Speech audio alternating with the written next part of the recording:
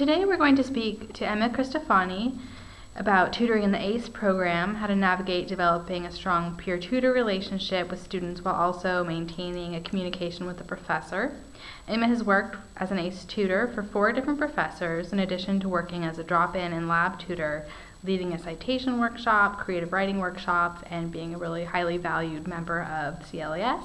Thanks so much for coming back to campus to Thank do this you. tutor training video. We really appreciate it, and it's great to have you back. So I thought I'd start by asking you, what do you see as the main difference between drop-in and lab and ACE tutoring, and how might your approach differ when tutoring a drop-in student or an ACE student? Well, with ACE, the main difference that you get is you really have a lot more time. You you get to see the same students over and over again, and so relationship, your relationship with the student becomes a lot more important. Um, with writing and drop-in, or sorry, with the with lab and drop-in, I always really like to, you know, ask a few questions about how people are doing to kind of you know make them feel comfortable and you know like let them know that I'm a student too. But you don't really have that much time if you want to get through you know all you need to get through in a half hour. With ACE, you can have you can even have specific meetings that are like purposefully to kind of meet students and get to know them. And it becomes really, really important because the more comfortable a student is with you and the more they feel connected to you, the better they'll receive your advice, you know, especially if you, they realize like, oh, you've been through the same things that I have and you found a way to get through it and you found a way to kind of address these problems. And so the more connected you are, the better they'll kind of receive your advice. And um, yeah, so I think the biggest difference is that kind of fostering that relationship where I'll take more time to kind of ask how people are doing. And I had one session with someone where we literally only talked about how he was doing and how stressed he was. And it was still a really good session. It was really helpful. He went home and did all the work that he needed to get done. He just really needed to vent and kind of, you know, get that stuff off his chest to really be able to focus on what he needed to do. So it's a lot more of a holistic approach.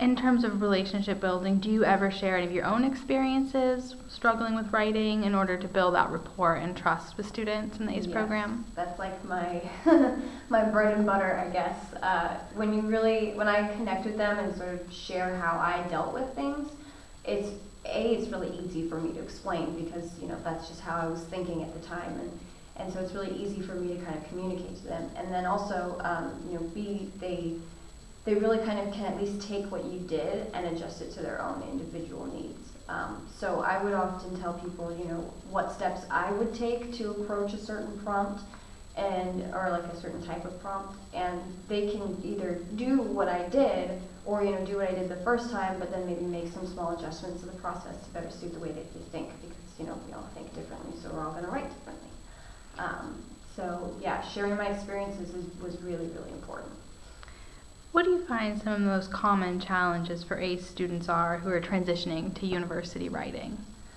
Um, well, ACE students are pretty much all freshmen, and so they're really, really fresh off the block. literally, um, they they don't have experiences for the most part with writing long essays that they have, you know, a month to do six to ten pages.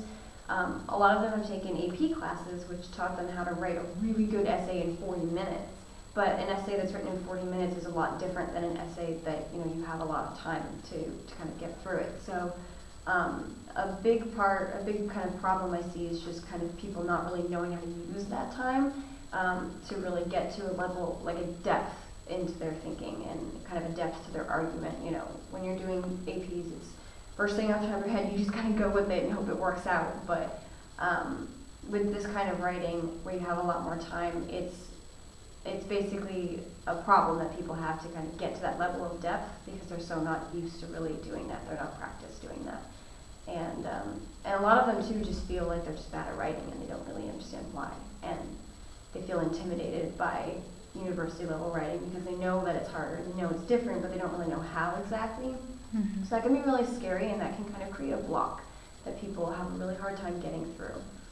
So, what do you do when students are feeling blocked? That's my first question. And then, secondly, how do you help students get a little deeper in their thinking? Um, well, dealing with a block, a lot of the time, the block is because they don't feel confident and comfortable with their writing. And so I like to ask a lot of questions. That's what I spend most of the sessions doing. And when it's a block, I kind of ask people like, well, do you have a specific time where you get stuck? You know, is there a specific point where you just feel like, I don't know what to do now? And then also, what do you do to get through that block? Because a lot of people just, you know, they just try to plow through it, and it doesn't usually work. Um, uh, I give a lot of people like suggestions of different things they can think about, different questions they can ask themselves about the prompt. You know, like why would my professor assign me this? Um, can be a really good one. It can kind of get them thinking about what the professor might really want to see them doing. Um, and then also really highlighting the importance of you know taking breaks, making sure you're well fed and you're not leaving everything to the last minute because the more stressed out your brain is, the harder it's going to be to to conjure up an argument on the page. Um, and uh, what was the second? Oh, and how do you encourage students to take their Oh, yeah. thinking to the next level? Probably Yeah. by asking a lot of questions. Yeah, exactly. It's asking lots of questions. You know, um, people might have a thesis where they just kind of say like, "This happens," and then you, in that case, you know, that's not usually a strong thesis because anybody could come up with that just by reading the book. Um, so a lot of the time, I ask them, you know, like, "Okay, so this happens. So why is this important? Why does this matter at all?" Or you know, how did this happen? You know, like what what kind of themes are going on? Um, what kind of you know, kind of plot twists are we dealing with, you know, depending on the focus of the class. Uh, you can come up with a lot of different questions about how and why. How and why are the two big questions that I asked. How, why, and why does it matter, basically. Um, and those really get people thinking because they kind of realize, like, oh, I don't really know why this is important. I just kind of, you know, a lot of times you just pick something that you're like, oh, this sounds good. and that used to fly in high school, but in this kind of level of writing where you do need to be at Duper level, you really need to be answering those how and whys. And so that's how usually it gets the ball rolling, kind of shows them either it either leads them to a deeper level of thinking or just at least shows them, oh, I didn't think about this enough, and so I need to, you know, go take some time and really think about what I'm saying. Can you tell us a little bit about the portfolio requirement in writing one and writing two and how seeing multiple drafts might influence what you focus on earlier in sessions versus Yeah. later? That's a really good question. Um, the portfolio process, um, it's a really classic writing class tool. Basically, um, people can come, like kind of show the steps that led up to the final product because in your classes you're not really emphasizing the final product but the process because that's what we're working on is making that process easier to get to a good final product. So, um, so it's really really nice to kind of like it's nice that the professors sort of require that of the students because you it gives you the opportunity to say you know like look at your outline look how far you came. And you can even um, compare you know their first portfolio to their second. A lot of times they do two or three portfolios per quarter. Um, and so when you can show them you know what progress they've made it can be really encouraging for them. Um, it really is kind of like a confidence boost which is really important. Um, and it can also show them you know like a lot of the time people will struggle with a paper and they'll say, I got stuck so many times. And then I'll ask them, well, what were your pre-writing steps? You know, what, what things, what materials are you going to be turning in in your portfolio? And a lot of times it's nothing. or it's something that they kind of learn to do but don't really understand why they're doing it. You know, like outlining, they might have trouble with it just because they don't really, you know, get the importance of sort of figuring out what you're going to say before you say it and kind of working with it and throwing things away and all those kinds of things. That process isn't, it, they don't really understand a lot of times the importance of that process and that you should be throwing things away and you should be writing crap that you revise later. And um, so the portfolio process can really highlight the strength that, um, that these pre-writing steps and these planning steps can really bring to an essay. Excellent.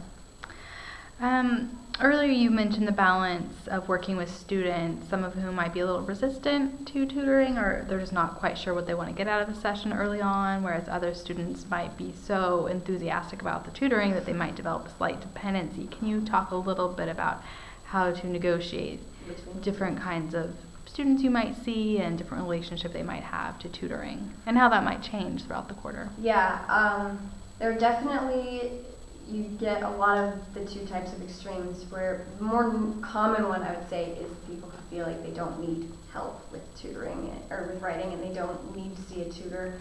And so when they come in, they kind of don't really have that much to say. They don't even know what questions to ask. They just can't think of any because they think they're fine.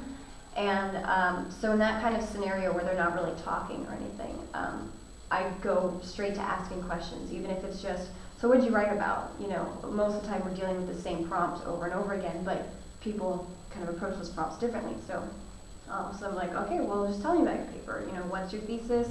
Uh, what kind of points do you make? Can you show me where these things are? And by doing that, we might end up at the end, you know, at least we talked about the paper and turns out the paper's great. You really didn't need any help. This was great.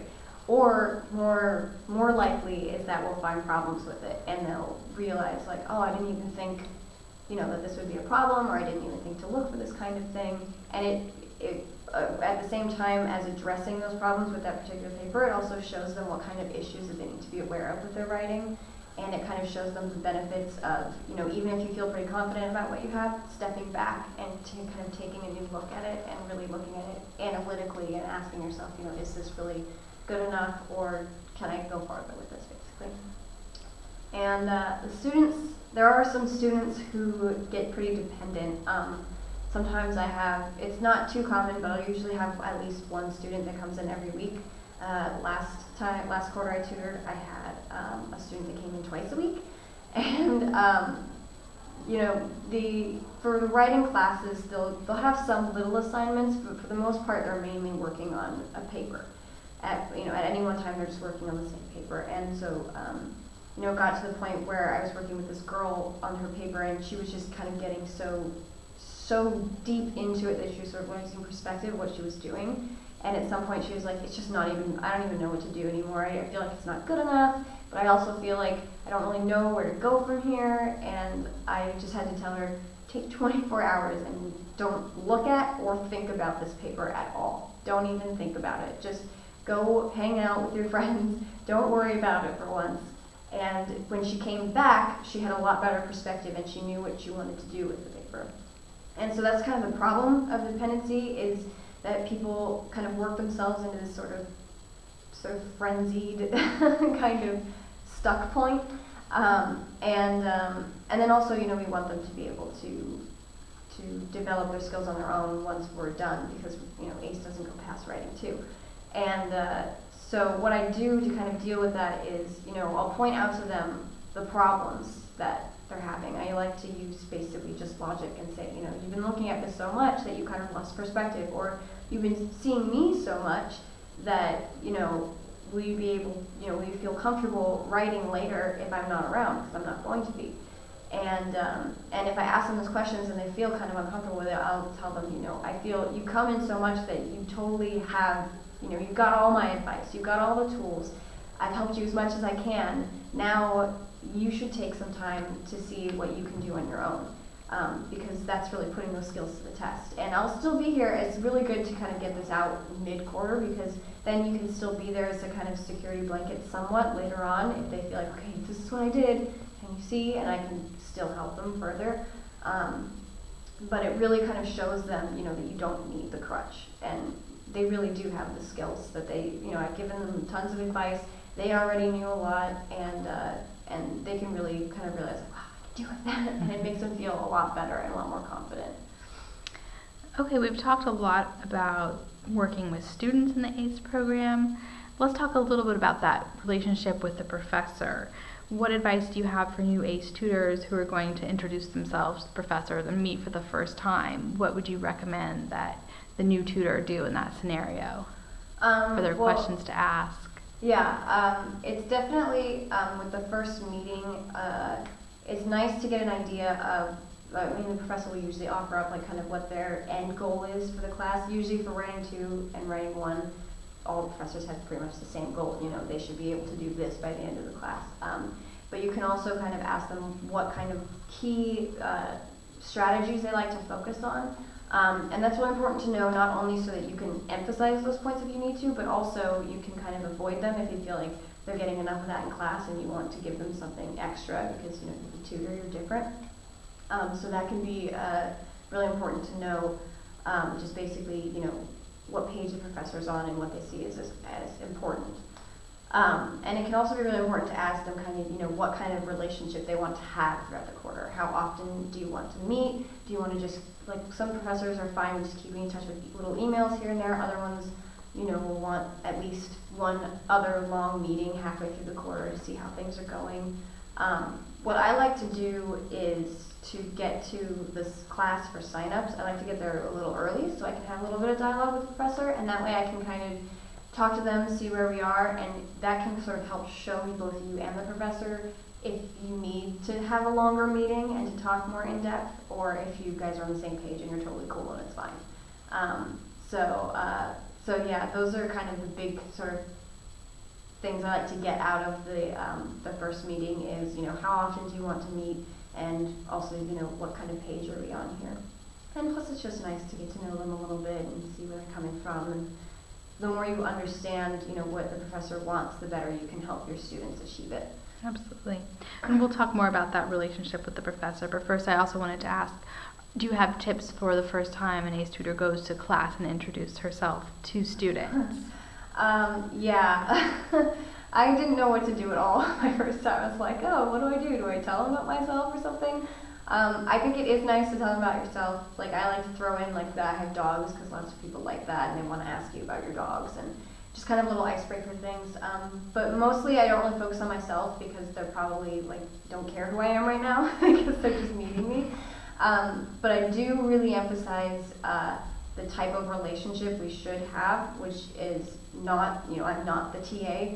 Um, I'm not ever going to be able to answer questions about how they're going to be graded. I'm not ever going to be answer, you know, able to answer, will it be double spaced or or when exactly is it due? Like I'm not going to have those answers, and that's really important for them to know that right off the bat because at some point they're going to forget. and um, so that's a really important thing. Mo- one of the most important things that I kind of tell them at the beginning. Um, and I also like to tell them to come to see me early because what I've had happen several times. It happened two quarters in a row before I started bringing it up uh, right off the bat. Um, but uh, what happens is that people will come. You know, people don't think they need help. They don't feel like they need help, so they'll come in like week seven for the first time, and then it would be so helpful that they'll come in weeks eight, nine, and ten, and they'll want even more appointments than that because they're trying to squeeze in a quarter's worth of help into like two, three weeks. And uh, the end of the quarter is really busy, and I like literally can't do it. And um, so early on in you know that first meeting, I like to tell them, you know, come in early. You know, you can come in this week, and we don't even have to talk about papers. We can just talk about, you know, we can just get to know each other a little bit. We can talk about what you're, if you have any general writing concerns that I can be aware of, so that I better know how to help you later. All of these kinds of things. But I always say, come in early. That way, at least you can decide if it's helpful or not. And if it's helpful, great. Now you can come in, you know, as much as you want for the rest of the quarter. You know how helpful it is. If not, if it's not that helpful, then at least you know, and you know you can just come in for your minimum required amount of times, and that'll be it, and it'll be good. But at least you'll know that you didn't miss out on something really helpful, especially because ACE is a very unique opportunity uh, to meet with someone over and over again for free. it's a it's a pretty cool opportunity that's usually pretty expensive. so I really like to point that out. You know that you might as well use me if I'm here. And some people listen and some won't, but at least get it out there. And how much do you report back to the professor about students' progress? How do you keep an open communication with the professor while also maintaining the students' confidentiality and trust? Is that ever tricky? Yeah, that's a good question. Balance. It's a little bit tricky. Um, sometimes professors ask about particular students, and I, if I don't feel comfortable answering, if I feel like that student wouldn't want to share that information with the professor, or if I feel like sharing that information with the professor won't really benefit that student, then I just, you know, I'll kind of answer really vaguely and kind of keep that confidentiality. Um, because that's really, I feel, what's most important is that the student is, is, that the student feels comfortable with me, and that you know they feel comfortable enough to kind of voice their concerns and talk to me. Because if they don't feel comfortable, then they might you know stay silent about something that I could totally help them with, um, and or I could even point them to another campus resource if needed. Um, so it's really important to me that the students don't feel like I'm ratting them out. So what I'll do is if a, if a professor asks about a specific student, I don't feel comfortable answering, I'll answer pretty vaguely.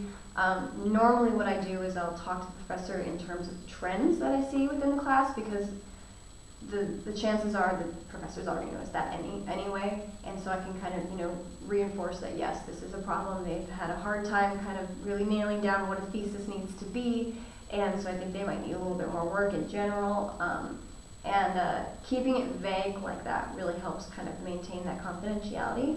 Mhm. um, while at the same time it does raise awareness about specific concerns. Um, I always let students know also that if they want, if they're not comfortable asking a question with the professor, because professors can become intimidating. Um, so if they're not comfortable asking a question with the professor, they can always ask me, and I'll ask her or him anonymously. And um, I think that sometimes they use it, sometimes they don't. Um, a lot of times I'll just say, you know, you should just raise your hand because I've heard a lot of people asking this, but I'll also let her know, you know, just in case. Most professors I work with are women. So, um, I'll also, you know, let the professor know that, you know, a few people are concerned about this certain issue or some people aren't really getting this and, and it needs to be addressed in class. Excellent, thank you. Um, and do professors ever want you to do something outside your role as an ACE tutor? I know you've mentioned you're not a TA. Does that role ever get a little slippery, or is there any, if you, do you have any examples that come to mind? Um, yeah. And if so, what do you what would you tell a new ACE tutor to do in this scenario? Yeah, well, definitely one thing I've learned is that if I was ever not sure about whether or not I should be doing something, I just ask Amy or Jeff, and they always know. they know what we're supposed to do and what we're not. And um, that's the easiest way to kind of know what you should or shouldn't be doing. Um, in terms of dealing with it, um, well, I've had I've had some professors give me the readers for their classes, and um, you know they said like you can read these or not if you want to. I've never had a professor really try to force you know extra work on me, but they have kind of suggested things to me, and I kind of just take it like oh yeah maybe I'll check it out, and then I don't because it really doesn't help the student for me to know what their material's about. It's a lot better if they explain it to me because uh, you know that way I can really see like oh they really understand it they can see it too you know or you know if they don't know how to answer my questions about the article then maybe they didn't understand it and need to go back and check it out um, but um, but yeah I kind of I've never had it too forcefully pushed upon me um, but if I did have a professor that was really kind of pushing for me to do work outside of what I'm supposed to do Mhm. if I didn't feel comfortable confronting them about it, which I usually try to kind of get enough of a relationship that I do feel comfortable objecting. You know, I try to talk to the professor enough that I feel more comfortable with that kind of dialogue. But um, if I don't feel comfortable, then um, I've asked Jeff what to do Mhm. in that kind of scenario, and he's always been he's always known like exactly what to do. Um, and uh, or you know, I'll just kind of let the professor know in my own way that you know I can't really do this kind of thing. Um, I'm just not really comfortable with doing this. I've been asked specifically not to do it by the union a lot of the time. And uh, so, or I can even just say like it's CS CLAS policy not to, which is kind of like pushes the blame away from me so that I don't feel like I'm going to be targeted um, as kind of, you know, bad feelings. What do you, is there anything in particular that you wish you'd known about the program before you started as an ACE tutor? Anything toward the end Um, of our session here that you'd like to impart to the new ACE tutor? Really good question. Um, well, I didn't really realize, I mean, I guess I kind of thought about it, but I didn't really realize how often I would be saying the same things over and over again. And it kind of, after a while of saying the same things over and over again, it's sort of harder to stay engaged. And so your advice, you know, the, the more engaged you are, the more your advice will be really be received and kind of processed. But if you're getting kind of bored of saying the same things, um, it can be a lot harder to kind of connect with the student, and the connection is so important. Um, and so I always just really try to maintain um, perspective of where the student's coming from, the fact that you know they are just out of high school and they've never written like this before. I mean, before I got to the UCSB, I'd written one six-page paper my entire life, and that was it. And so I was really uncomfortable, and it's really uncomfortable too to have people, you know, criticize your work that's kind of half baked and you're not really feeling that great about it. And uh, so I really try to maintain that perspective, and that's what's I think the most important thing that I've learned, and that I kind of wish I knew from the beginning, is to kind of always think about where the student is coming from because it'll make you a better tutor and it'll make it more fun for you because you'll be kind of more interested and more engaged in who that person is as an individual. And so even if you end up telling them the same thing that you told the last person, it might be, you know, it's considering a lot of different options, so it doesn't feel so um, so monotonous, I guess. Um, it doesn't really feel like you're a broken record as much when you're really actively kind of gauging, you know, what are the individual needs of this particular student. Um, I think we all have our little phrases we repeat. I'm constantly Oh write that down, write that down. totally. I have like so many. Um, yeah, I have a lot of things I tell people over and over again, about conclusions especially, and comma splices and everything. But um, and it, it could get really you know tedious, kind of repeating. And I sometimes I forget too. It's a good thing to kind of try to keep track of what you tell each person. It, eventually, it gets too hard, and you just I just tell students like stop me if I've already said this because I lose track. But it, it Um, can be a little repetition can be helpful. Like in a paper, you want Yeah. the transitions. It's better to overemphasize than to Definitely. not emphasize your Yeah. main point. That's definitely Whether really as a writer or a, or a tutor. Yeah, it's definitely kind of an interesting balance. Mhm. And how has Um, your experience as an ACE tutor influenced your interest, future career plans? Oh, oh my god, it had such a huge effect. Um, because of the like connection that I got with the students, um, you know, being able to see them over and over again, it really made me um, realize that I really want to help people, and um, you know, I really care about getting people their, you know, to their academic goals or their career goals even. Um, but it just it really makes me feel like really alive to kind of connect with people on that level and, and you know kind of guide them in such a way but it's it's not really like I'm just like a teacher, kind of sitting there telling them what to do. It's more like they tell me what they're going through, and I can really empathize. And then I feel so great that I can really, you know, kind of share ways that I dealt with it. And uh, and sometimes I'll I'll say something to people, and it doesn't really click. They don't really get what I'm talking about, so I have to come up with a new way to say it. It's always so exciting when that one you can kind of see it, and like, oh, Hmm.